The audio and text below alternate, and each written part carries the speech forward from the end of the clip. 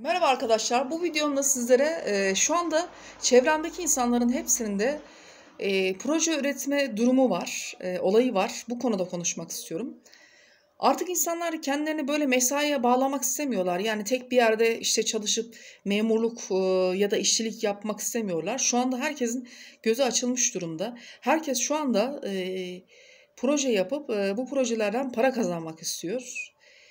E, çünkü artık hiçbir şey yetmez oldu. Kimse azla yetinmek istemiyor. Herkese çok para lazım. Herkes çok para istiyor.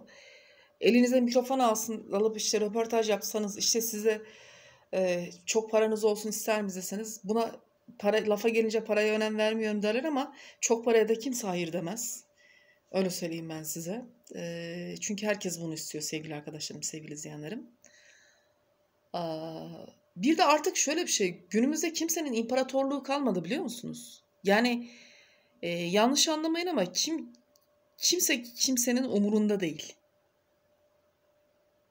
Yani e, eskiden bir sanatçıya TRT zamanlarında 7-8 tane sanatçı vardı. İnsanlar tapardı, saygı duyardı. Şimdi kimse kimsenin umurunda değil. Ya da bir siyasetçiye. Kimse kimsenin umurunda değil arkadaşlar. Herkesin gözü o kadar açıldı ki hani e, Süleyman Demirel'in mi Turgut Özal'ın mı yanlış hatırlamıyorsam bir sözü var ya benim memurum işçim işini bilir diyorlar ya artık herkes işini biliyor. Herkes e, herkesin her şeyden haberi var. Herkes proje üretmeye çalışıyor. Herkes bir şeyler yapmaya çalışıyor falan filan. E, herkes e, bir şeylere çalışmaya çalışıyor öyle söyleyeyim. E, mesela ben cep telefonuna kontür yükleyen birisiyle konuştum. Dedi ki artık dedi kontür yüklemeyeceğim dedi. Niye dedim? WhatsApp'tan konuşuyorum dedi. Artık herkes WhatsApp'tan konuşuyor. Yani ortaya var olan bir e, proje oluşturuluyor. Herkes o işi yapmaya çalışıyor e, ve o herkes o, o işi yaptıktan sonra da e, planını projesini başka alanlara çekiyor sevgili arkadaşlarım, sevgili izleyenlerim. Ama insanlara da çok görmemek lazım. Malum geçim e, telaşesinden dolayı Herkes bunu yapmak zorunda geçim telaşısından dolayı yapmak zorunda. Yani sen kimseye loto oynuyorsun diye kızamazsın.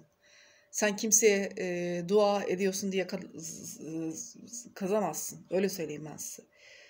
Şimdi de günümüzde şöyle bir olay da var. E, herkes her şeye karışıyor, kızıyor, ediyor.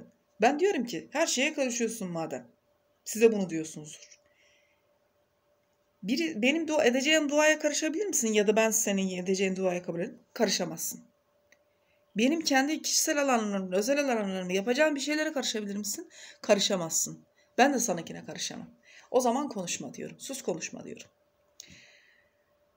Uzun lafın kısası ben insanların e, kendilerini e, proje üretmelerini, kendi çalışmalarını yapmalarını e, destekliyorum. Desteklemek gerek. Dil uzatmamak gerek, karışmamak gerek. Öyle söyleyeyim ben size hatta sizi sizi engellemeye çalışanları da e, polise verin. Çekinmeyin. E, baktığınızda anlamıyorsunuz, baş edemiyorsunuz polise verin ama mücadele edin kendi aranızda. Kendi alanınızda mücadele edin. Sevgili arkadaşlarım, sevgili izleyenlerim. Diyorum ya Avrupa'da bu yok.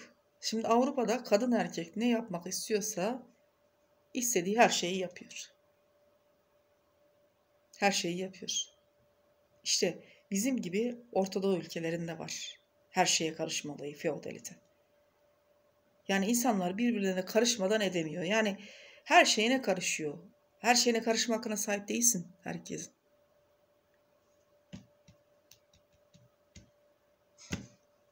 Ee, insanlar bu dünyaya mutlu olmak için geldi. Kimse acı çile çekmek için gelmedi. O yüzden mutlu olmaya çalışacaksın hayatında. Kendi bir çıkar yolunu arayacaksın. Kendin e, çıkar yolunu oluşturacaksın dediğim gibi. Korku kültürü değil, e, özgürlük kültürü oluşturmak gerekir sevgili arkadaşlarım, sevgili izleyenlerim. Özgürlük kültürü olması gerekir. Hiçbir şeyden korkmayın. Hiçbir şeyden korkmayın. Allah'tan Allah'tan da korkmayın. Allah'ı sevin. Bakınız ben size şunu söylerim sevgili izleyenler. Allah'tan, peygamberlerden, peygamber efendimizden korkmayın. Sevin bunları. Niye korkacağız ki? Neticede peygamber efendimiz de insan. Sevin. Korkmayın. Allah'ı sevin. Korkmayın. Proje yapmak konusunda da korkmayın. Üretim, üretin, üreten insan e, üretir, değerlidir. E, öyle her planınızı, projenizi kimseyle de paylaşmayın. Yani bu soru da üretir. Bir öğretmen mesela soru da üretir. Ben mesela e, soru yazdığımda anneme dedim ki soru üretiyorum. Öğrettiğine göre soru da yazarsındır. Soru da üretirsin sevgili arkadaşlar, sevgili izleyenler. Yani üretim dediği zaman illaki hani YouTube videosu olarak algılamayın. E, ya da a, ne bileyim ben size üretim dediğim zaman kitap yazmak olarak algılamayın. Ya da İGT videosu olarak algılamayın. Her şey aklınıza gelebilir. Yani bugün çiftçi de üretiyor, öğretmen de soru üretiyor. Herkes her şeyi yapabilir sevgili arkadaşlarım, sevgili izleyenlerim. Hatta dedim ya eskinin öğretmenleri hem çiftçiymiş hem tarımcıymış hem e, öğretmenmiş hem de köyün elektrikçisi sucuymuş. Birçok alanda. Şimdi YouTube'da da öyle. Bir nevi öğretmenlik yapıyoruz. Öğretici videolar da var. Ee, bazen eğlenceli videolar da yapıyoruz. Bazen ne bileyim başka videolar da yapıyoruz sevgili arkadaşlarım, sevgili izleyenlerim. Bunlar olur. Olmaz değil. Yani kendinize ben şunu yapmam bunu etmem demeyin. Kendinize engeller koymayın. Her şeyi yaparsınız. Yeter ki e, Allah o gücü versin.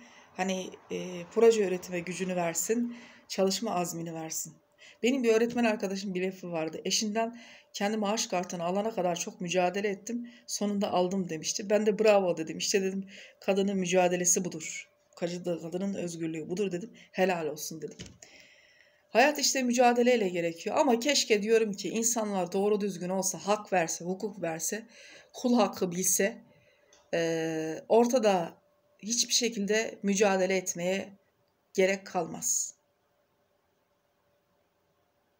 Mücadele etmeye gerek kalmaz sevgili arkadaşlarım, sevgili izleyenlerim.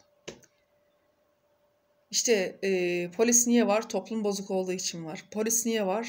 Kavga gürültü olduğu için var. Yani İnsanlar doğru düzgün olsalar, hak, hukuk bilseler, kul hakkı bilseler zaten e, kimse kimsenin hakkını yemez. Kimse şu dünyada üzülmez, ağlamaz. Sevgili arkadaşlarım, sevgili izleyenlerim. Evet, e, bu videomda size yine bilgi de paylaşmaya çalıştım. E, mesela mimari proje yapanlar var. E, mimari proje ile film projesi, kitap projesi bunlar birbirlerine paralel şeyler, birbirlerine benzer şeyler sevgili arkadaşlar, sevgili izleyenler. Bunlar hep birbirine birbirleriyle içe şeyler. Ee, bunlar olan şeyler, olacak şeyler. Bugün mesela Sezen Aksu PTT'de 8 sene memurluk yapmış. Ondan sonra müzik dünyasına girmiş. Yani her şey oluyor hayatta. Yani şu olmaz bu olmaz diye düşünce içerisine de girmeyin. Ee, yeter ki cesaretli olmak gerekiyor. Hani inanın şu anda size mesela YouTube e, video yapmak bile bir cesaret. Yani hiç e, dışarıda tanımadığınız insanla konuşmak bile bir cesaret. Sadece cesarete ihtiyacımız var. Hani Mustafa Kemal Amar Atatürk'e demişler ya az zamanda çok şey yapmak. Para yok demişler bulunur demiş. Ordu yok demiş kurulur demiş. Atatürk her şeyi düşünmüş. Düşünün. Her şeyin bir çaresi vardır der benim e, büyük babam. Annem de öyle der. Sebepsiz hiçbir şey olmaz der. O yüzden dikkat edeceğiz bunlara öyle söyleyeyim. Yüreğinize korku yerleştirmeyin. Yüreğinize cesaretlik yerleştirin. Sevgili arkadaşlarım, sevgili izleyenlerim. Cesur, cesur olmak gerçekten çok çok önemlidir. Sizleri çok seviyorum. Canlarım benim, fanlarım benim. Dünyanın neresine gidersem gideyim. Ee, Allah izin verdiği sürece sizlere video yapıp sizlerle konuşmaya devam edeceğim.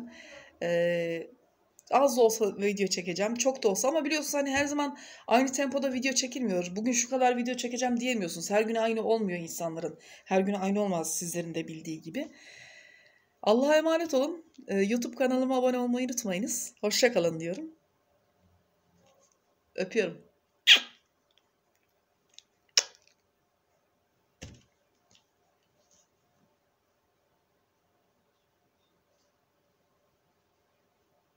Evet, başka videolarla da ekrana gelmeye devam edeceğim.